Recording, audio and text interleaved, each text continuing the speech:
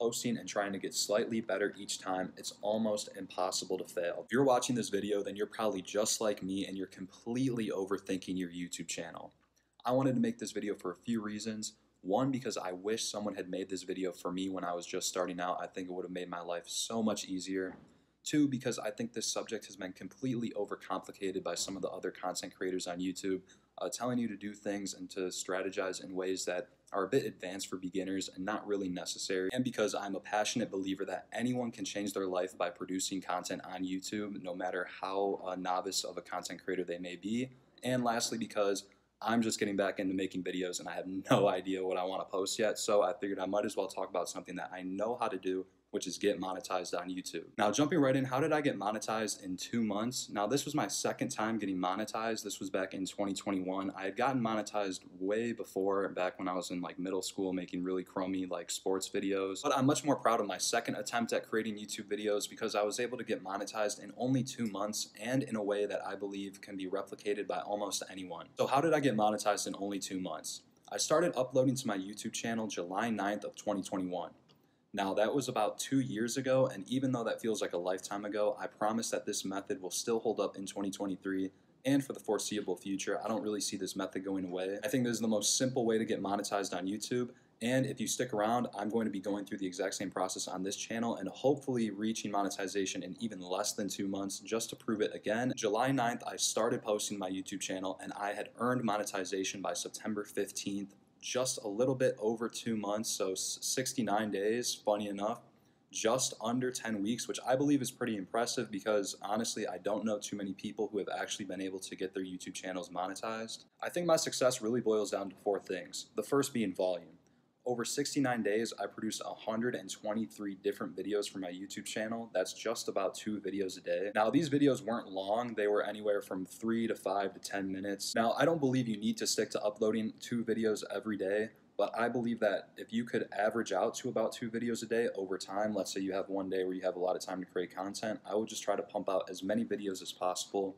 Honestly, in the beginning, it truly is just a volume thing. Your videos really don't need to have any value or authority.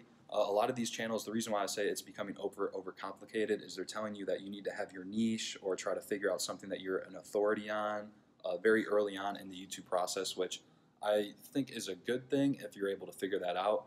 But many people, such as myself, this go around, I'm not really sure what I want to post about but I know that posting on YouTube is the only way that I'll be able to get better and be able to develop any authority at all. I'm assuming you're probably like me if you're watching this video and you overthink what your niche is, what videos you want to upload. Uh, do you know enough about the subject to really be knowledgeable enough to make these videos? And the answer is yes.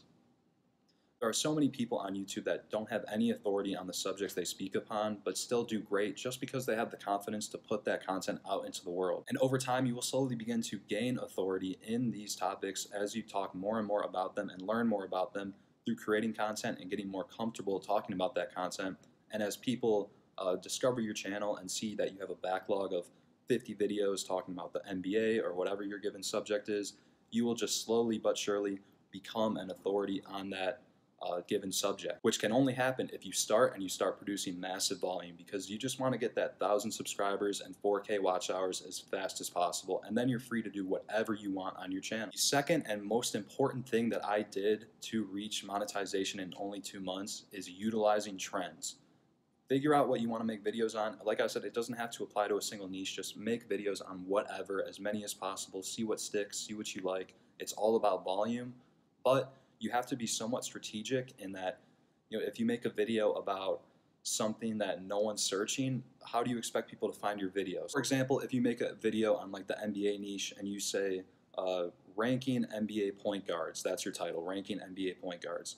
That will definitely not do as well as a video that says, you know, uh, why Chris Paul is worse than Steph Curry or something. That's a, a, a poor uh, title still, but um, what I'm saying is use um, popular IP, names, celebrities. You need to sort of clickbait or take the most popular thing in your niche at a given time and just hammer that subject so that you can try to capture and reel in some of the audience that's out there searching for these things. For my channel, I picked the NFT niche, which I hammered on way too hard. Um, And that's how I ended up getting burnt out on my channel because I went for a niche that I thought would be the most profitable, which is all these what these people tell you to do. You know, pick the purpose of your channel and find the niche and just hammer it. Niche isn't something that you can pick before you start the channel. That's what I realized with my NFT phase because um, you just need to make videos on what you like, and slowly you'll develop over time uh, a good mesh between what you like and what your audience likes and where you can provide the most value. If you go into it uh, with a certain niche, even though I did like NFTs at the time and I was like, oh, I enjoy this, let me make videos on it, it wasn't something that in the long run was able to hold my attention because it was just sort of like a fad or a phase in my life. Some people will be better at others than talking in front of the camera. That was one of the other points to success I wrote down was uh, increased comfortability. When you produce such a high volume of videos over such a short period of time, you have no choice but to improve. You will just naturally improve your cadence, your speaking, your talking, everything.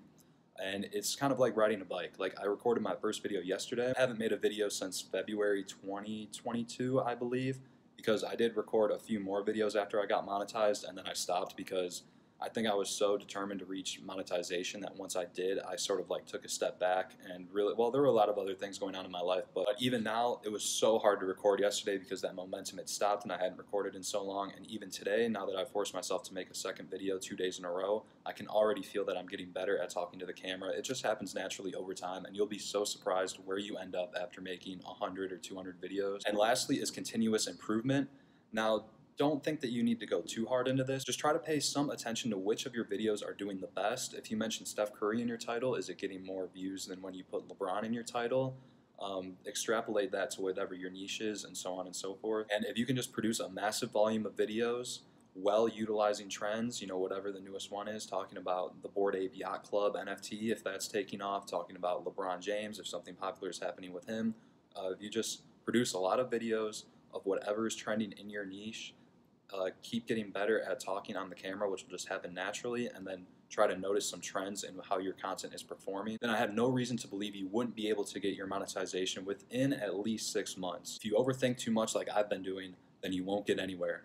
This is great proof. I'll upload this video and I'll think there's so many people out there that are already talking about this subject, but I guarantee this video will still get views. I had a list of things I wanted to address that I thought didn't matter. I already mentioned niche, I already mentioned authority, you don't need to start with any given niche or don't worry about niche at all. Your YouTube channel, you can change your niche throughout as you go on. You don't want to end up uh, like a creator like iDubbbz where you pick a niche and you just have to keep hammering at it and then you feel stuck because you know YouTube, everyone wants to get into YouTube as a hobby to uh, do something they enjoy to potentially make a little extra income or just for fun.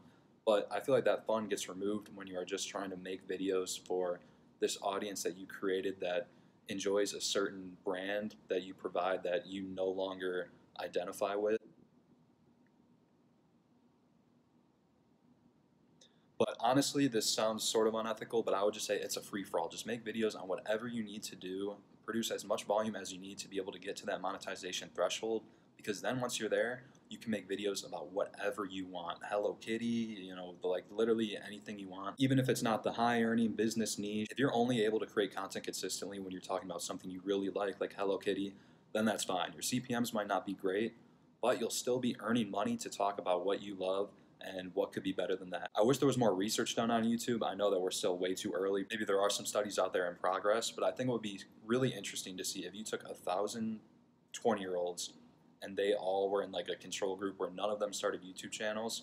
And then you had a group of a thousand 20 year olds that made YouTube channels. I'd love to see where the groups would end up in 20 years because I'm sure there would be some cons. I'm sure maybe the YouTubers would be a little stressed from having to uh, keep up with their channel, perhaps. But I believe these people would definitely have more disposable income, more confidence from having put themselves out there and seen something they've created on their own succeed. I was going to get into some of the do's and don'ts about what to put in your content when you're first trying to reach monetization because there are certain tricks that you can use to try to lengthen the amount of time people watch your video so you can rack up those watch hours. But I believe this video has gone on too long, so I'm going to put that in tomorrow's video. So be sure to stick around. I would really appreciate if you subscribed and liked the video. It really helps me out a ton, and I would love for you to stick around to be able to see that Hopefully, as I said, I will be able to reach monetization even faster this time, even though I don't think I'm going to be able to get a second video up today. That segues perfectly into some YouTube mindset things that I believe is important for all creators to have, and I just think is a good note to end the video off on. One is if you just keep posting and trying to get slightly better each time, it's almost impossible to fail. The only times that I've ever failed at YouTube is when I just stopped uploading. If you just keep uploading, it's almost a guarantee that you will eventually get views. Your thought process, your creative process will eventually get better over time. And you just need to stay grounded. Uh, don't get too excited for a good video and don't let a bad video ruin your mood. Life, YouTube, algorithms, people are all weird and unpredictable. You never know. You just have to do things, put things out into the world, and see what comes of it. Along with that, don't look at, I mean, I'm a huge. Uh, perpetuator of this myself, but don't look at someone like Mr. Beast or don't get caught up in all these people doing super well on YouTube. You know, those are the outliers. If you want to try to be a Mr. Beast, sure, but you're going to have to have your few years where your content just stinks. So don't worry about putting out this volume or if your videos are bad. No one remembers the videos that Mr. Beast started with. No one remembers any of this stuff. Just put it out. People will watch it. You'll get better over time. You'll get to monetization status and overall things will just be good. You can worry about trying to get to Mr. B status later. You shouldn't forfeit the opportunity to have a nice small channel that can help you in the future because of insecurities related to not thinking you'll be able to be as big as Mr. Beast. There's a lot of creators that are nowhere near the size of Mr. Beast that will be able to have a much better life because they started their YouTube channel. That being said, be sure to have a goal besides monetization. My new goal is to just have a YouTube channel where I can document some of the things I've learned over time, build a community of like-minded individuals, and hopefully make a little bit of money on the side that will help me throughout my life. Don't just strictly worry about getting monetized because each time that I've done YouTube and was just strictly trying to get to monetization, once you reach monetization, I've found that my uh, ambition slowly trickles off, which I don't know how why that's happened to me. Some people once they see the money coming in, they just get super excited. Me, even though I saw money coming in, it was like, okay, I achieved the goal of monetization that I worked so hard for. So don't think too much about it. Don't overthink it. If you're watching this video this far, you're definitely overthinking it, which don't worry, I'm not trying to call you out like that because I am a huge overthinker. The last seven months, I've been wanting to start YouTube, and now I'm finally doing it. And as you'll see, even though yesterday's video sucked, and this video probably sucked, and my next 100 videos will probably suck, come back in three months, and I'll probably be monetized. Come back in three years, and hopefully I will have a play button because if you just do things, it'll get better, and it will happen. So with that being said, don't just think about the money. Don't get stuck doing something you don't like. Make that Hello Kitty YouTube channel if you want to. Thank you so much for watching. I hope this helped. That's all for me. Peace.